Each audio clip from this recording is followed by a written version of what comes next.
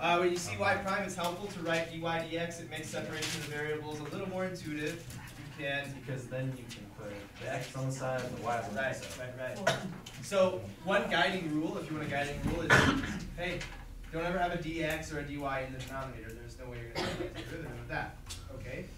So let's let's like almost always you're gonna multiply both sides by dx, right? Yeah. It's almost always gonna be the case. All right. So dy uh, over one plus y. Let's just do this one equals x dx. You all agree? Okay. Oh. Yeah. We take the antiderivative of both sides. Yeah, I'm not very.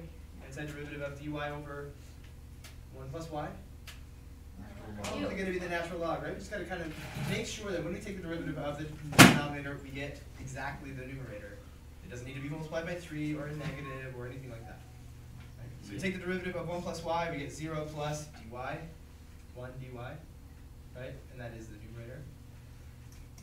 So the natural log of one plus y plus c, but we'll, uh, we'll ignore that, we'll do plus c over here. Yeah, so it's one half Yes. x squared Yeah, plus c. alright. Still gonna get y by itself. Yeah. e to the One half. one half x squared plus c plus c Minus one equals one. Minus one equals y. And we'll call this c one because I'm about to do what? Two c's. Write it Yeah. as a constant times e to the, let's say x squared over two. C.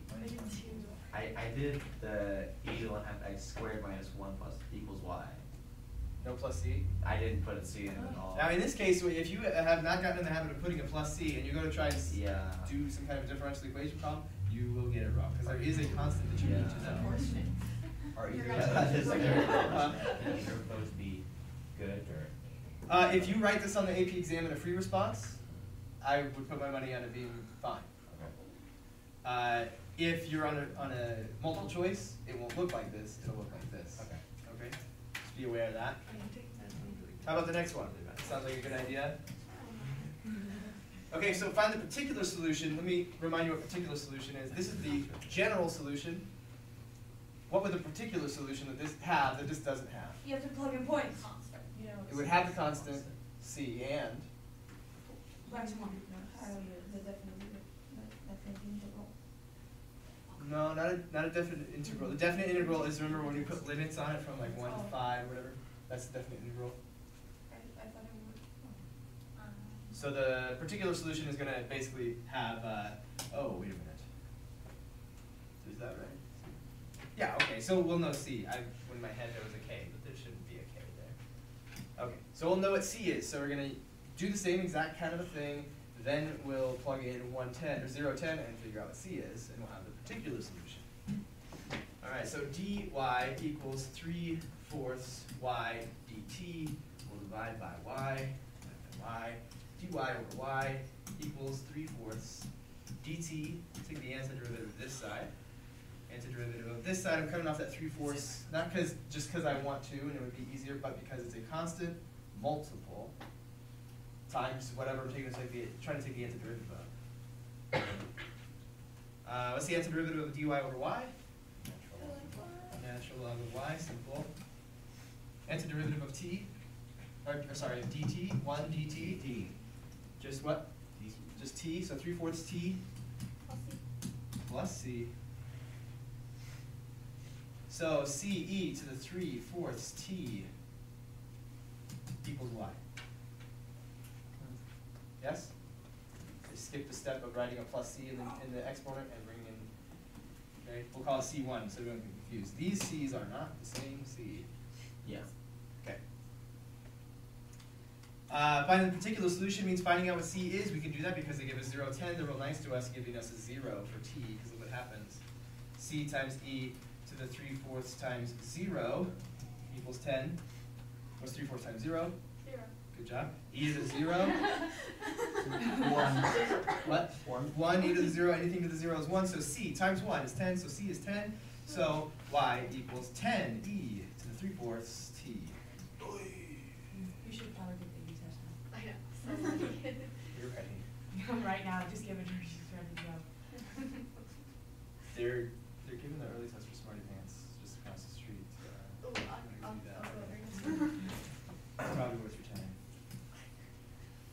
supposed to tell you about the AP test, the, uh, gosh, if you qualify, even if you don't receive free and reduced lunch, if you qualify for free and reduced lunch, you can take the AP test for twenty dollars. What? We'll talk to Mrs. Williams, that's what she told me this morning. That's on the phone. crazy. That's good. Good But there's like a, a government program that helps those who don't have those funds available to them, okay?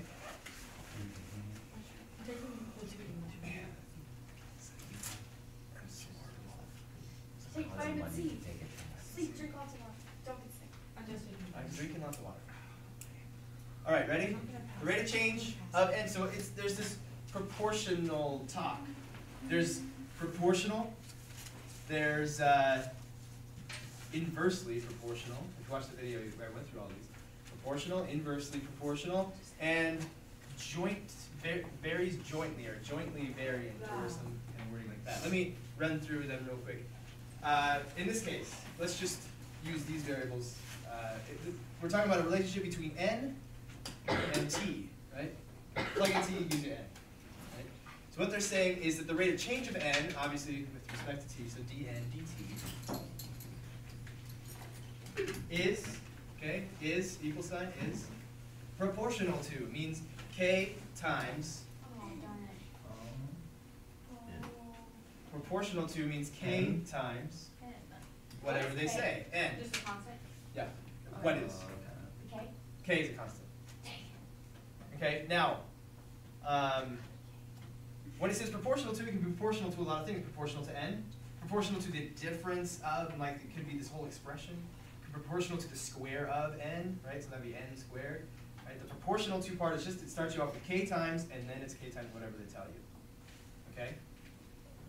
Inversely proportional. Let me show you that by contrast. Inversely proportional would mean like this, you see, as n gets bigger, this gets bigger, right?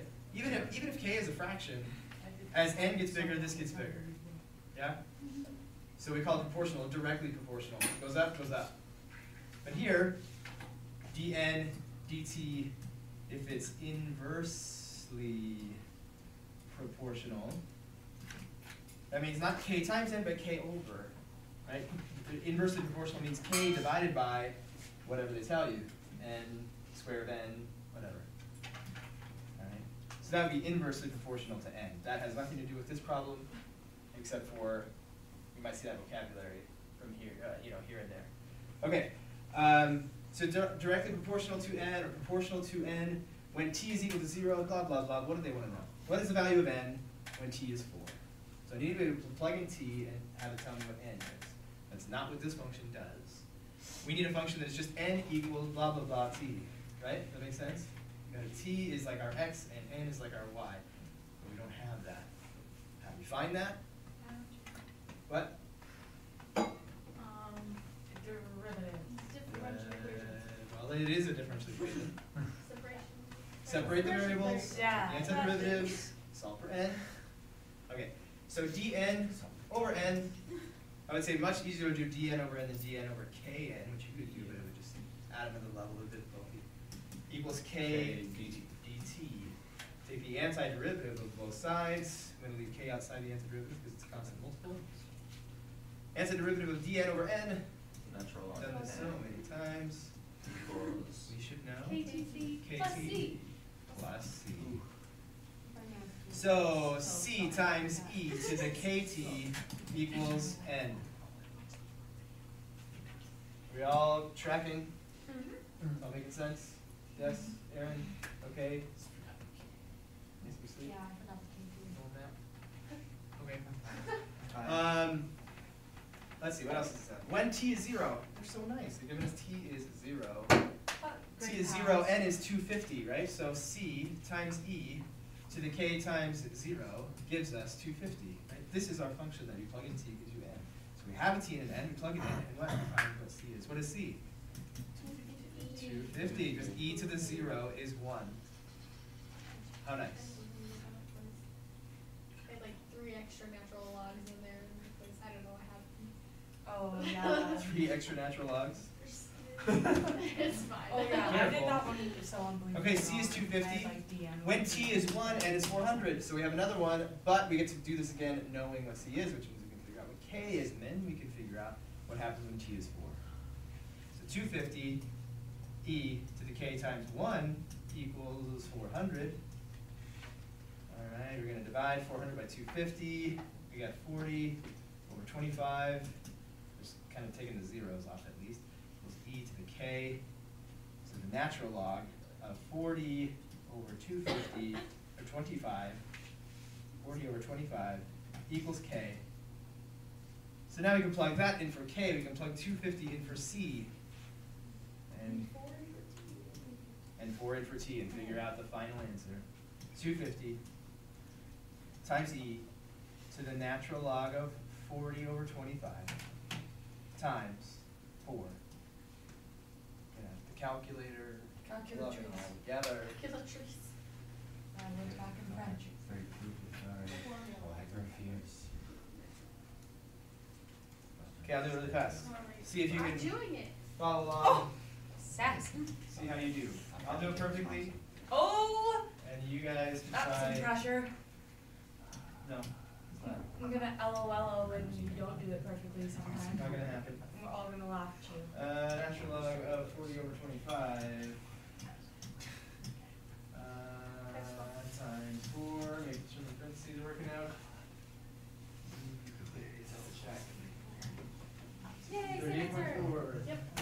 I got eight hundred and fifty. I don't know what I I was like, Yeah, I'm not I'm not sure. using any calculus, and then, and then I got really. It was rough, it was rough. How hard is that problem? Question. Not too hard, but the steps, maybe a lot of steps, but it's really not that hard, yeah? You said that we could do this almost like a proportion problem, like put, um, like one over four hundred equals blank over, or, um, like one over four hundred equals four over something. I said that? No, you said that we could use this without calculus, and it's just Oh. been, um, I've been wondering how you would do that. Uh, let's see, can we do this one? I No, said this that. isn't the one you can do without calculus. Oh, this isn't? Um, unless you like memorize this, Mm. so you don't actually have to do all the separating and the Oh. antiderivatives. Right, this is like a, a statement that we started with. Uh, if the rate of change of n is proportional to t, then this. y is equal to c times e to the kt, Okay. or n is equal to c times e to the kt. Cool. All right, How's everybody feel about that? Now that I understand it more, it Yeah. makes more sense. Yeah, I don't, I wouldn't expect that everybody would go home and do the homework and be experts, so we practice more, but it's also Yeah. up to you to practice to the level that you need. So six point three is gonna be the last section that we do, and we're gonna do it, it's just like, I mean, there's a lot to six point three, but there's a lot that we're not going to talk about, because you don't need to know about homogeneous differential equations, you don't need to know about, uh, logistic equations, and logistics functions. Those are some BC concepts, okay? So that's how BC is, like BC, in, in Calc BC, you would talk about this, and then you would go on to talk about all this other stuff, which we're not going to. Six point three will be it, six point three, the amount, the, the part that we're gonna do is really just like harder problems, harder to separate Why? the variables. Why do we get the option to take that test if we went, if we aren't have paying permission in that test? BC? Yeah. Cause you're not one. Oh, oh. No. Because So I was like- there's an AP US history test and that's People not- are Well, I mean, super it's, it's available to anybody who has eighty-nine dollars. They're not gonna police, like, oh, wait a minute, we looked at your trans, there's too many thousands of people taking this test for them to be like, no, no, no, you can't take it. no, no, no. It's just not a good idea if you haven't taken the class. But I'm saying, like, for our school, Yeah. like, they type up that piece of paper and they're like, these are the AP tests you can take. I'm sure there's millions of AP tests. This is Mrs. Williams' first year, and she's just trying to, you Oh, know, do her best, and, and so, and she, I doubt she knows the difference between AP and B, C. Okay, that's what I was wondering. Don't they offer BC online? It's also a teacher. Yeah. I It's don't Steph does? think I don't anybody think else so. ever has, I think she took AP stats, which is a good idea. Alright, let's keep going. Okay, that was weird. Here's what we're gonna do, we're gonna look at some AP questions. Mm. Don't do that. Mm. Oh, we're also not gonna look at orthogonality and, uh, uh, yeah, even though that's fun. We're just going to do some more differential equations problems where separating the variables maybe doesn't wind up with an exponential equation. Okay? I have detention. We just need to figure out how to get y's and dy's on one side, and x's and dx's on the other side. One helpful hint is don't let there be dt or dq or whatever in the denominator. So A and B are out. Oh, A and B. No. Well, in this case, this is like the easiest one because all all they're doing is saying, basically, do the first part of this problem. Should be fruit by the feet. Understand the vocab that they're saying. Like, are they saying proportional, inversely proportional, varies jointly with? What are they saying? Okay, so we got to figure out which of these fits this wording. Okay. So I'll read it, and then and, and emphasize certain words. You write something down. We'll see, or you know, you just write down A, B, C, or D, or E, or whatever you want. So Newton's law of cooling states. We already know this. We just did this. States that the rate of change of the temperature of an object Q, okay, the, the, the temperature of, of an object is called Q, is proportional to. Remember what that means. The difference between proportional to difference between its temperature and its surroundings. If the surrounding temperature is 40 degrees, which of the following expresses this relationship? Okay, you look at it. Okay, you look at it. You, not you say things out so that nobody has to think. Okay.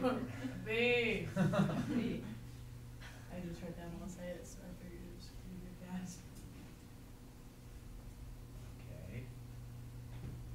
Who thinks they know and can explain why? Sophie. Well, it says the rate of change, so Yep. dq over dt. So that means what's out? Wait, what? What's out then? Which answers are not going to work? Um, D and E. D and E, those are not rates of change. Okay, it good. Says it's proportional to, so you need a K. Okay. Which gets rid of A. A is out. The difference between its temperature and that of its surroundings. Surrounding temperature is 40. So T minus 40. Parentheses. Well, what, then why isn't it this? There's a, a K and a Q and a 40.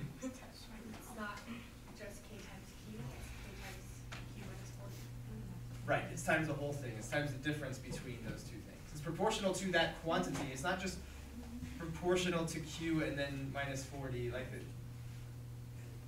Proportional to means it's K times s- the whole other thing that you're talking about. Okay, so B. Nice job, self dog. Nice Joe. Probably have to go up and help you. Alright, do not shout things out loud. The rate of growth of the mass of a tumor, M, Oh. M with respect to time t is inversely proportional to the square of the mass. The differential equation that best describes the relationship is which of the following, and apparently I didn't read of the following. Let's just write it. And so you're kind of doing the same thing as the previous problem, but you don't have multiple choice. Hey, legs, get to work. Maybe put away your legs. Where they belong. Where do legs belong? Yeah. what about Callie's legs? That's okay, they're not on my desktop. Come on. Her legs are too long. Shh, get to work. Remember how we just ran through this proportional, inversely proportional thing?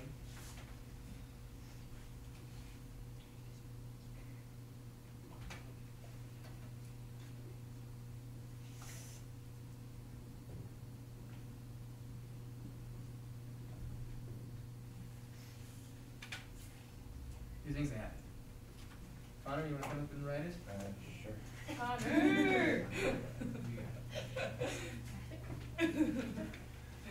Talk us through it. So, um, it says the rate of growth, so it needs to be, um, the tumor with respect to time. so, Yeah. uh, dm over dt is inversely proportional, Uh-huh. What's that? so you have this goes to the square of the mass, just m squared. And then I think it's over k. We're so close. Is it under k? If it's under K, because here's how you can tell the difference. If it's if it's under K, let me just or if it's over K, let me just say if we write it like this, dm dt equals m squared over K. Well, then can't I write this as one over K times m squared, mm-hmm. right? And what does K represent? constant. So is one over k a constant? Yeah. Yeah, so we still have a directly proportional thing, Okay. alright?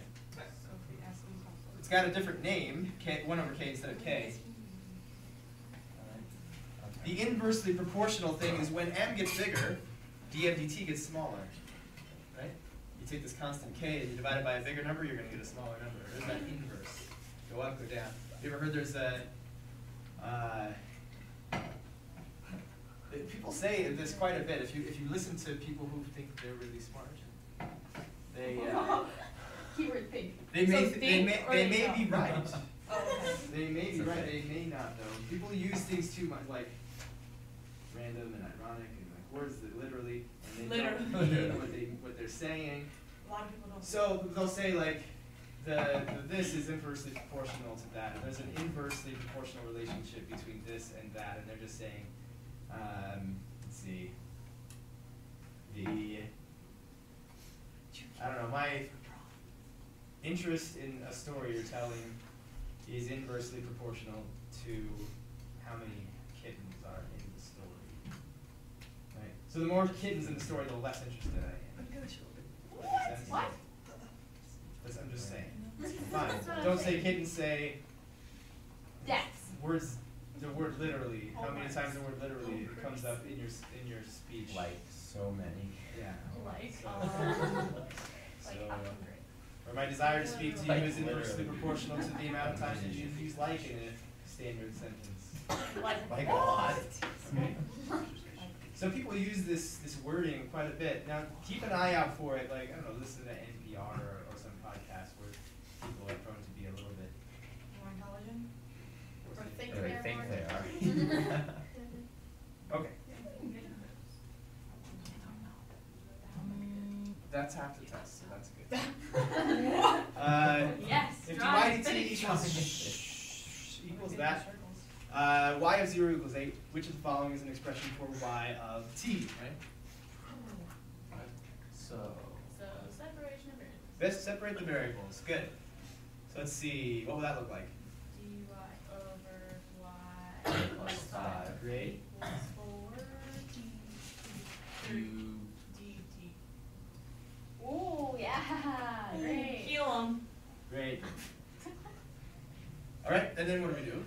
Um, Antiderivative of both sides. I'm gonna leave the four in there because I can see what's coming down the road here. What? Oh, oh, I got you. Natural log of y plus five, yes? Yeah. Not the negative natural log of y plus five, not one half, because when we take the derivative of y plus five, we get dy. We get dy plus zero. Okay? Equals what? What's the antiderivative of four? t to the third?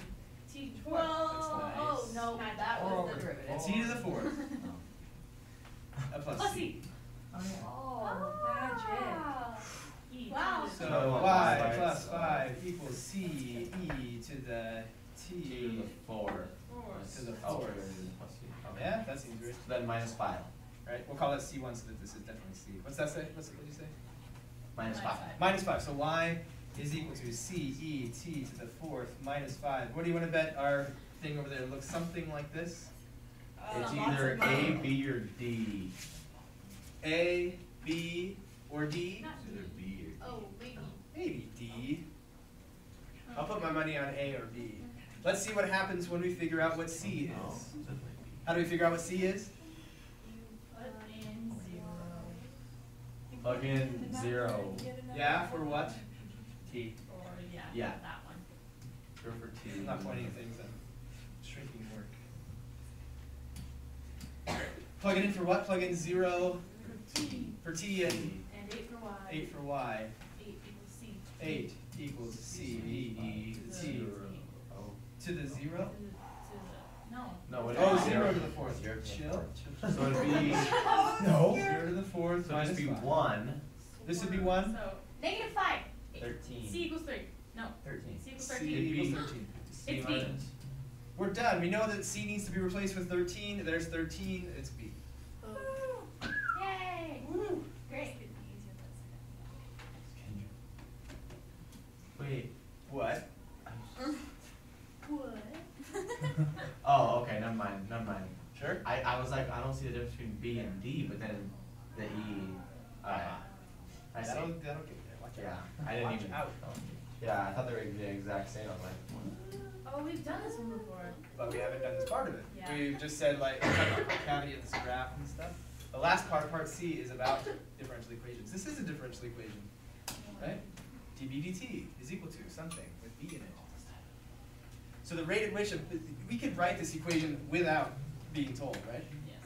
Let's read the sentence. The rate at which a baby, baby bird gains weight, dB dt, right? Yeah. If we, if we let b be the, the weight of the bird, right? The weight, the weight of the bird as it changes with respect to time, dB dt, is proportional to, so it's equal to some constant. Uh, maybe we couldn't write it because we don't know what one fifth is. Okay, that's all right. Uh, is proportional to the difference between its adult weight and its current weight. Okay, one fifth times, what does this represent then? Its adult weight, its current weight. Okay? Uh, time t is zero, when the bird is first weighed as a teeny baby, its weight is 20 grams. Oh, I'm so small. If b of t is the weight of bird in grams at time t days after its first weighed, then dB dt equals one fifth times 100 minus b. Okay? The thing that's actually helpful is knowing, it's very helpful just knowing that all of this stuff, all of that, what that's saying is basically saying there's going to be a differential equation, and look at it, there it is, right there.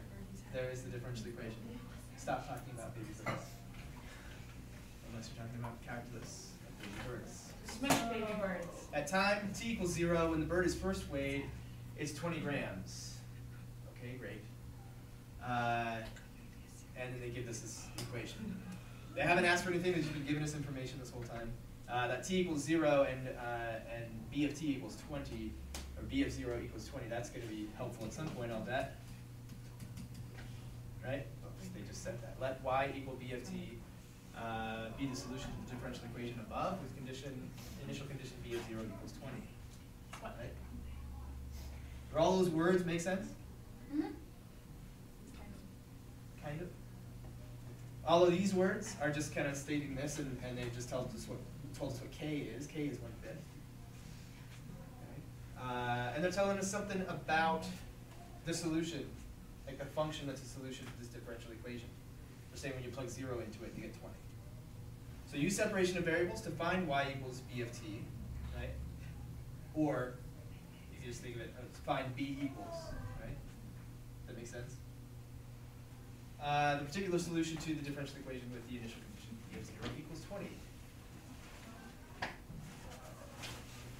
Even if you, you, all you saw was use separation of variables to, and you, maybe you didn't even understand the rest of the words, you might just go ahead and try and do what right now?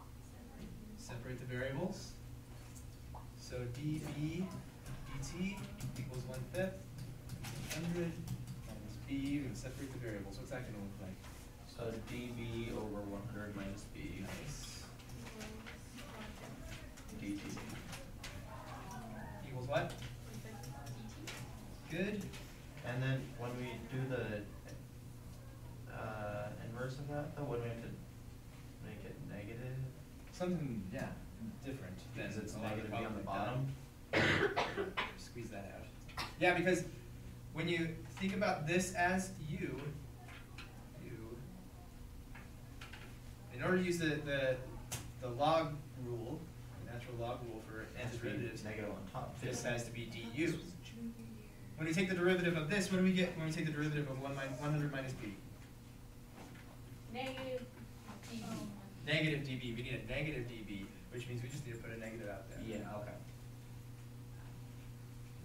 So negative. So now what's the antiderivative of du over u? Of u, which is 100. What's the antiderivative of dt?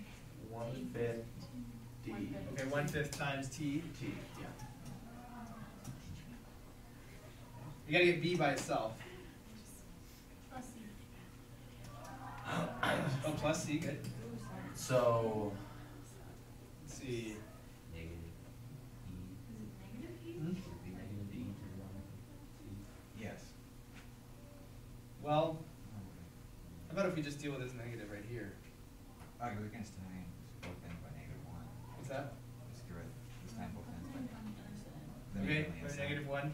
So the natural log of one hundred minus b is equal to negative one fifth t. Minus C. Yeah, we should do a minus c. Now do the. Now we do the usual bit, okay. So, let's see, e to the negative one fifth t minus c equals one hundred minus b.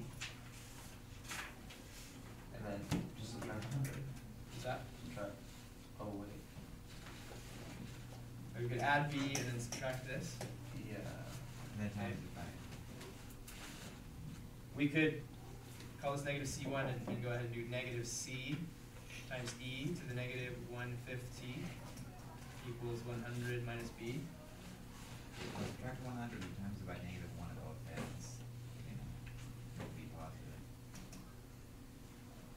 So then b equals one hundred plus c e to the negative one fifth t. Yep. What do we know? b of zero is twenty? What does that mean? B equals zero, then is zero? No, sorry, twenty. t is zero, b is 20. B is twenty C. equals one hundred Plus plus c times e to the zero, yeah, right? and then that's So c is Uh, equal, negative eighty. yeah, So c is negative eighty, so it's plus a negative eighty times e to the negative one fifty. So b equals one hundred uh, minus eighty times e to the negative one fifth t. What did they want us to do? Or the particular solution, we just found a particular solution, that's all we needed to do.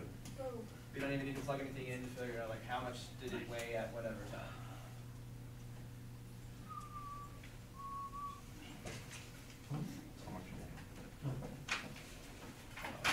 I think that's not the last one. Uh, Just add that one to your homework. No, never mind, this is, this, I left this one to last, but I remember why, so never mind, we'll, we'll maybe do it. This is another six point eight, next one. time. Yep, right there. That's fifty-nine, right? Yes. What? Fix Connor will do it. Okay. Fix what? Oh, six point three, you can text that? Fix it? Text it. Oh, text it, yes. Connor will. Well, I've never texted or, or haven't texted in a long time. Just remind Connor. Yes, you have. Put out the video. Oh, you're right. Oh,